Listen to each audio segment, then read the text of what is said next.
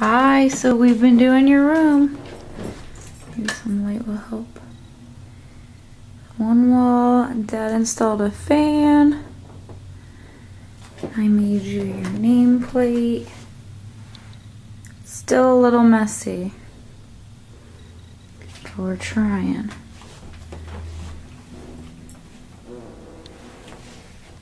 I think we have enough diapers for about a week.